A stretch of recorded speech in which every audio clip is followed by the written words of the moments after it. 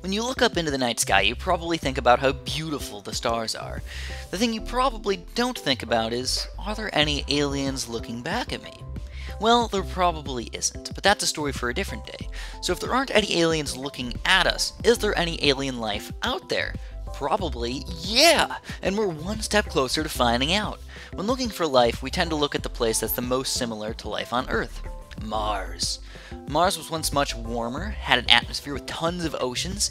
Sadly, its core stopped spinning, destroying its magnetosphere, and the once possibly hospitable place seems pretty inhospitable.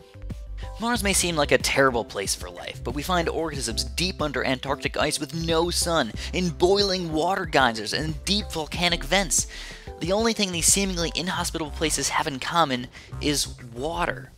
When we look for life on other planets, we look for liquid water. We've known about ice water on Mars for quite a while, but Mars has just given us some new hope. We've found liquid water.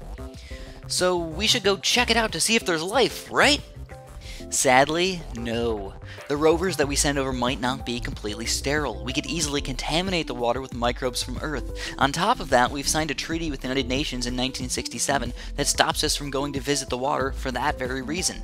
The tenacity of microbes is incredible. They survive through extreme radiation and heat of the trip into space, several long months in a vacuum, and they survive up to years without water. We don't want them to possibly outcompete the fragile alien life on Mars.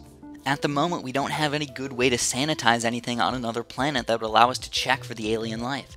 So when will we ever know? I'm still hoping for about 20 years. It's more of a guess than anything, but I'm extremely hopeful that simple microbes will be found on Mars and other places in our solar system. As always, thank you for watching and have a super duper delicious day.